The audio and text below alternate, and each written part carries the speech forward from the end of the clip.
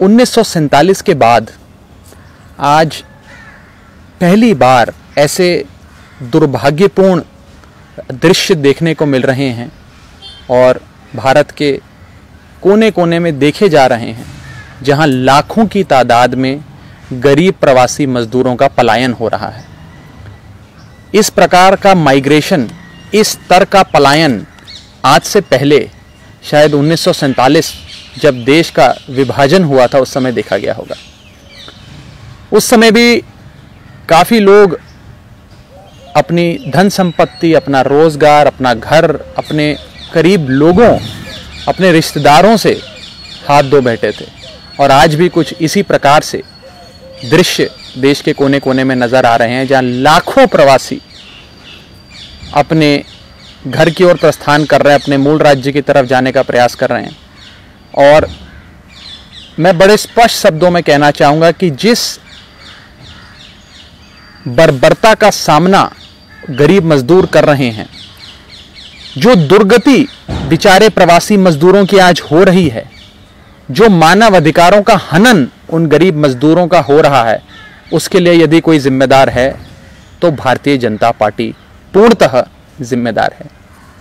आज भारतीय जनता पार्टी ने कई बड़े बड़े अमीर लोगों को जो विदेशों में थे, उनको भारत देश वापस लाने के लिए आलीशान जहाज़ भेजे। उनको आलीशान जहाज़ हिंदुस्तान से रवाना कर कर सही सलामत अपने देश वापस भारत लाया जा रहा है। कई बड़े बड़े उद्योगपतियों को अपने निजी एयरक्राफ्ट लाने का, प्राइवेट चार्टेड प्लेन करके उन्हें सही सलामत हिंदुस्तान लाने का प्रबंध भारतीय जनता पार्टी की सरकार ने किया। अच्छी बात है किया। लेकिन उन गरीब मजदूरों के लिए कोई प्रावधान नहीं किया। उन गरीब मजदूरों, प्रवासी मजदूरों के बारे में नहीं सोचा। ये जो गरीब मजदूर हैं, ये जो प्रवासी श्रमिक हैं, जो दो वक्त की रोटी कमाने के लिए अपने मूल राज्य से, अपने गाँव से शहरों में आते हैं, ये हमारे देश के असली बिल्डर्स हैं, निर्माता हैं। They are the builders of India आज यही प्रवासी मजदूर हैं जो देश के कोने कोने में जाकर अपना खून पसीना एक कर कर इस भारत की नींव रखते हैं। हमारे देश को बनाते हैं, देश को खड़ा करते हैं। और आज उनकी जो दुर्गति भारतीय जनता पार्टी कर रही है, वो वास्तव में बेहद दुर्भाग्यपूर्ण है। आज बड़े स्पष्ट शब्दों में चार सवाल भारतीय जनता पार्टी से हम नहीं आम आदमी पार्टी नहीं, वो प्रवासी मजदूर, वो श्रमिक, आज भारतीय जनता पार्टी से चार सवाल पूछना चाहते हैं। आज मजदूर बेचैन हैं, परेशान हैं, अपने घर लौटना चाहते हैं, उनकी आजीविका, उनकी आमदनी, उनकी अर्निंग कैपेसिटी पर एक प्रकार का पूर्ण विराम लग गया है और वो बेचैन है, अपने गाँव जाना चाहते हैं, अपने परिवार वालों के पास जाना चाहते हैं। वो आज भारतीय जनता पार्टी से चार सवाल पूछना चाहते हैं।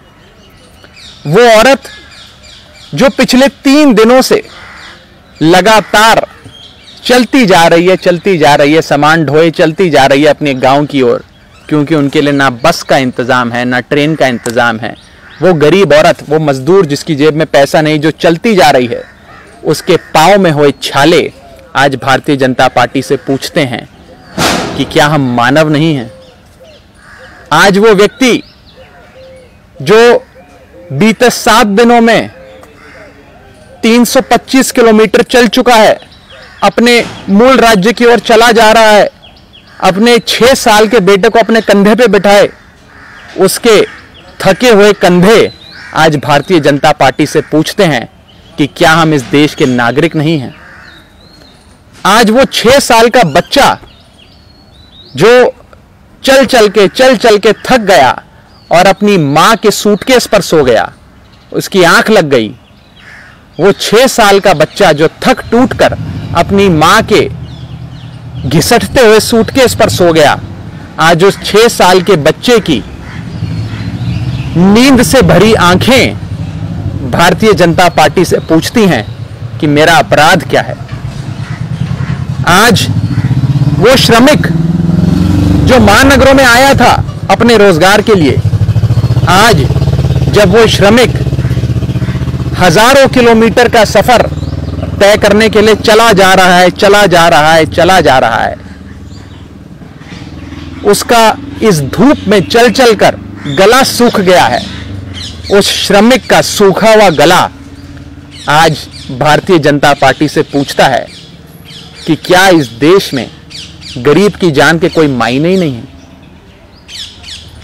ये चार सवाल सीधे तौर पे कोई राजनीतिक दल नहीं, कोई राजनीतिक दल का प्रवक्ता नहीं, बल्कि वो गरीब मजदूर, वो प्रवासी श्रमिक जो आज अपने मूल राज्य जाना चाहते हैं या सफ़र तय कर रहे हैं, उनकी दिल की आवाज़ है, ये उनके सवाल हैं, ये हमारे सवाल नहीं हैं।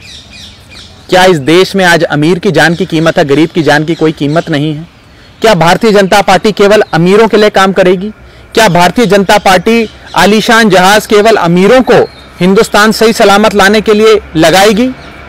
क्या भारतीय जनता पार्टी बसें बड़ी बड़ी गाड़ियाँ बड़ी बड़ी ट्रेन, यहाँ तक कि जहाज़, उन गरीब मजदूरों के लिए नहीं लगा सकती? क्या ये मजदूर हमारे देश का हिस्सा ही नहीं है आज? क्या इन मजदूरों का हमारे देश के निर्माण में कोई योगदान ही नहीं है? आज बीते कुछ दिनों में जो दृश्य हम सबने देखे हैं, पूरे देश ने देखे हैं, वो दृश्य भारतीय जनता पार्टी की गरीब विरोधी मानसिकता का दृश्य है, जो आज पूरी तरीके से देश के सामने है। मैं चाहूँगा कि भारतीय जनता पार्टी इन चार सवालों का, उस औरत का, जो लगातार चलती जा रही है, कई किलोमीटर चलने के बाद उसके पाँव के छाले भारतीय जनता पार्टी से ये सवाल पूछते हैं। वो आदमी जो छह दिनों से चला जा रहा है, अपने बच्चे को कंधे पे बिठाए, उसके थके हुए कंधे भारतीय जनता पार्टी से ये सवाल पूछते हैं।